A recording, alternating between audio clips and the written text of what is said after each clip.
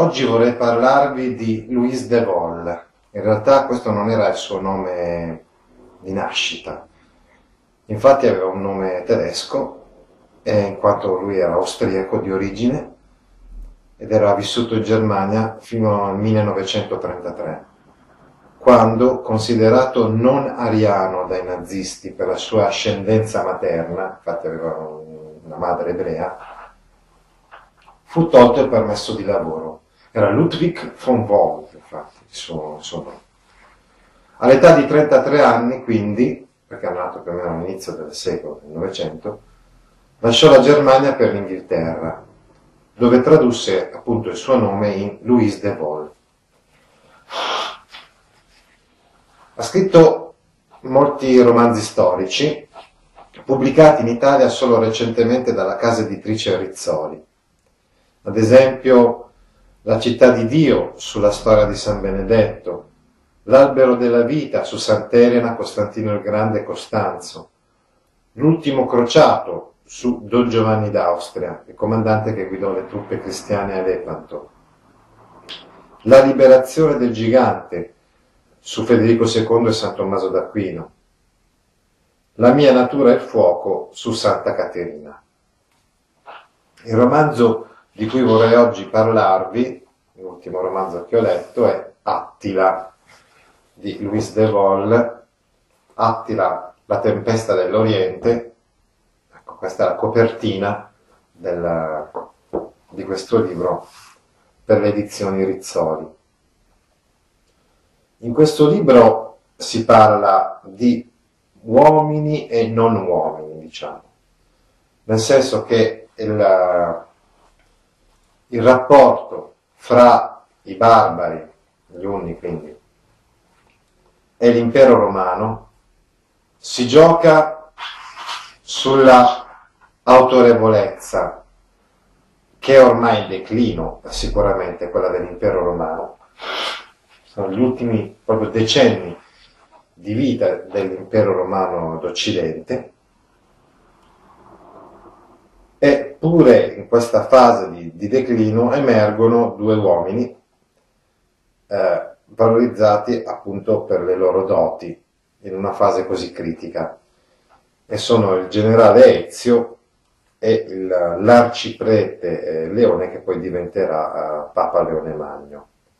Dall'altra, eh, l'altro uomo, quindi l'altro grande personaggio eh, ammirato in un certo senso eh, in questo romanzo è Ethel, che poi verrà acclamato come eh, il padre, eh, quindi assumerà il nome di, di Attila.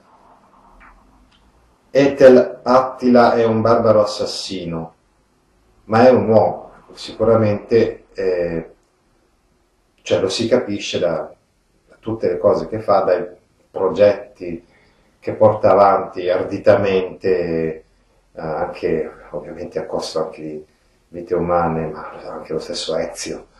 Sono uomini di guerra ovviamente questi due, eh, vite umane sacrificate, progetto che poi eh, riesce a, realizzare. Chi era Ethel? Ethel era nipote del Khan, quindi del gran capo degli Unni, Rua, il suo zio, quindi eh, Rua era capo supremo aveva perso il padre, quindi in giovanissima età, da infante, ed è fratello di Bleda, che però è il primogenito. Quindi Ethel è il secondo principe, oltre a Bleda e a Gullak, un altro principe che però poi, come vedremo, sarà ucciso dallo stesso Ethel.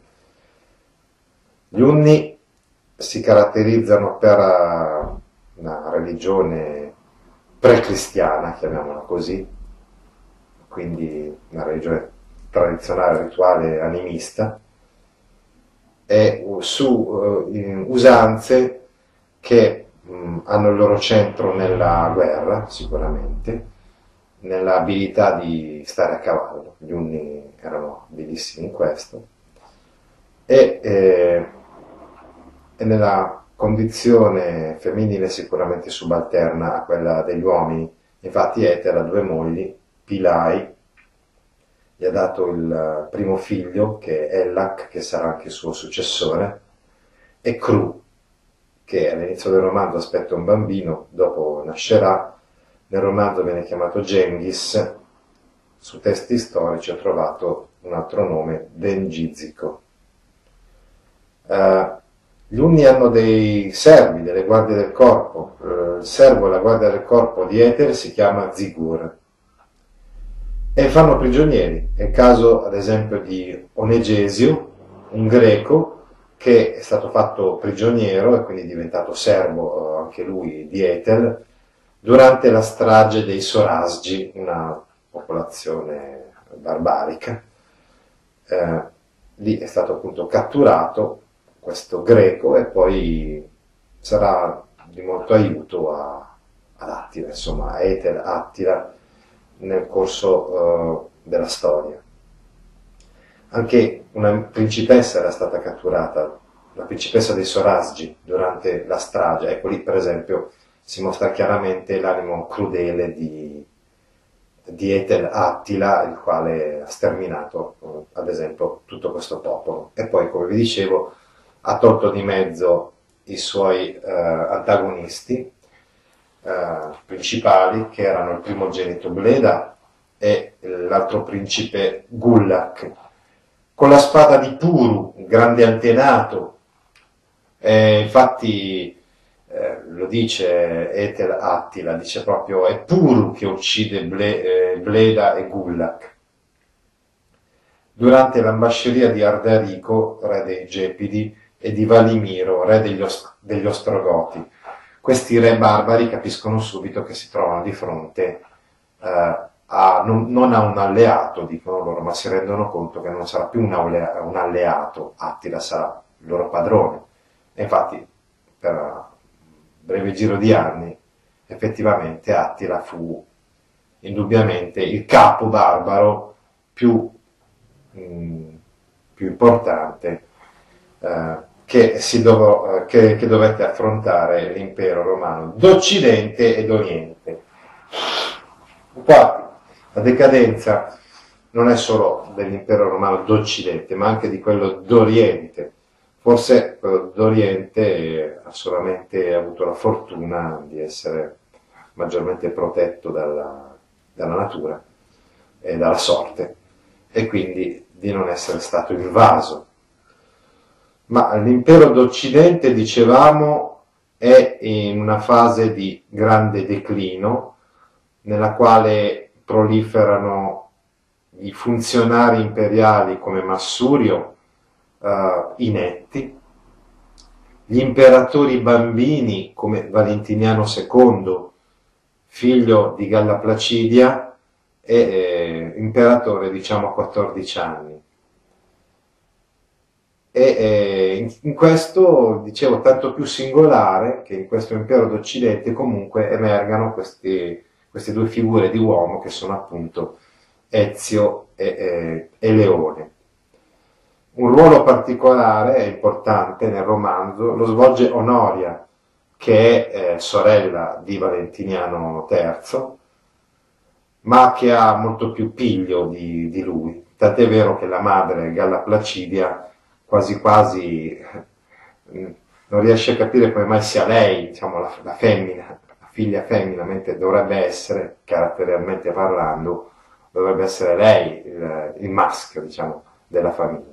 È bella tra l'altro, attira Ethel, il quale è arrivato diciamo a Ravenna, nella corte imperiale, come ostaggio, in, e, e, quindi è affascinato dalla bellezza di Onoria e riesce ad avere un rapporto con lei.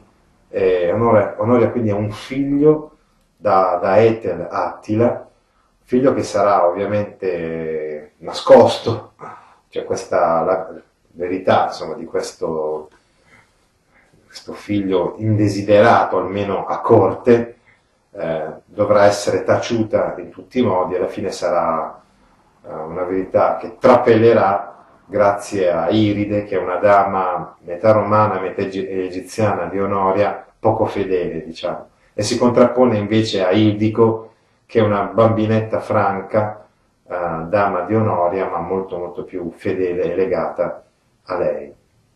Dicevamo che, che Ethel viene portato come ostaggio uh, dell'impero romano d'Occidente e qui eh, emerge subito la sua personalità anche in mezzo a tutti quanti gli altri ostaggi. Tra l'altro fa una brutta fine un uh, burgundio, un certo Gerbod, che ha lottato con, con Ethel. E, e poi uh, scopre di essere stato un po' preso in giro Ethel, in quanto gli hanno proposto di posare per un pittore, un certo Stimpalos, ma solo in seguito Ethel ha capito che il quadro che lui stava facendo non era un semplice suo ritratto, ma era un ritratto di Valentiniano, cioè dell'imperatore Valentiniano III, che sottomette e incivilisce i barbari eh, come lui. Ecco, gli intrighi di corte comunque sono prevalenti nella corte diciamo, dell'impero romano d'Occidente, così come vedremo anche in, in quella dell'impero romano d'Oriente. Ad esempio, i rapporti eh, straconiugali, come quello che ha Galla Placidia l'imperatrice con eh, Bonifacio, generale suo amante, che poi però viene ucciso eh, da Ezio. Eh, Ezio, tra l'altro, è questo grandissimo generale, conosce la lingua degli, degli Unni, essendo stato preso in ostaggio eh, per tre anni. È davvero l'ultimo eh, vero generale del, dell'impero romano, probabilmente la sua morte segnerà anche la fine eh, dell'impero romano stesso. Dicevamo che anche la corte dell'impero d'Oriente è una corte eh, corrotta. Ad esempio l'imperatore Teodosio II eh, ama più il suo casino di caccia che non gli affari politici e militari.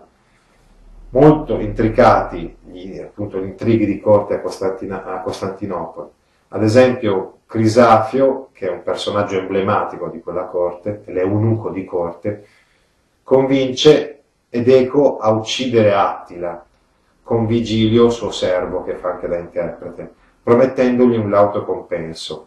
Poi però Edeco, che era un unno, dice tutto, rivela tutto ad Attila, e così poi il principe Eslav, che viene alla corte di Costantinopoli, inviato dagli Unni, e chiede soddisfazione all'imperatore Teodosio II, un ricco premio in oro.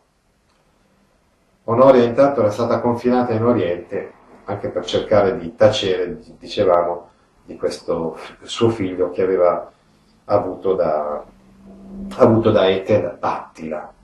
Ecco, uh, Etel Attila, perché due nomi? Forse questi due nomi stanno proprio a indicarci la doppia natura di Attila, Attila Ethel, quindi per come lo conoscono in molte regioni dell'est europeo, un grandissimo capo, e infatti nel cantare dei Nibelunghi Attila è denominato Etzel ed è anche il secondo marito di Crimilde, mentre invece la, in Occidente Attila il, rappresenta il furore barbaro e selvaggio. Uh, il nome Attila fa venire in mente questo, in particolar modo uh, a noi. Il romanzo storico di Attila, ho scoperto tante cose, ad esempio su, proprio su Crisafio su, sul te- tentativo di omicidio di, di Attila, che non conoscevo assolutamente. Certo, ci sono anche delle parti inventate o delle parti storiche dubbie, ad esempio l'uccisione di Bleda da parte di Eter Attila, non mi sembra che sia uh, storicamente accertata, o il figlio avuto da Onoria. Certamente di storico c'è la figura di Papa Leone Magno e della Chiesa, nella decadenza eh, generale, dicevamo, dell'impero romano d'Oriente e di Occidente, la Chiesa assume un ruolo particolare, un ruolo, un ruolo di un'autorità riconosciuta e, eh, e di un'autorità effettiva. Ecco. nella mancanza di, di quello che è invece l'autorità sulla carta. Però non voglio rovinarvi gusto della lettura di questo libro e quindi non vi dico tutto sul finale eh, di questo libro, anche se temo che, essendo fatti storici questi piuttosto conosciuti, probabilmente eh, voi già qualcosa eh, sappiate. Ringrazio.